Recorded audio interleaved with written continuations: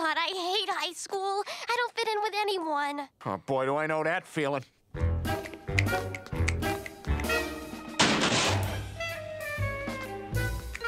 Okay, man, okay, you are really throwing me off. It's step, kick, step, twirl. Got it?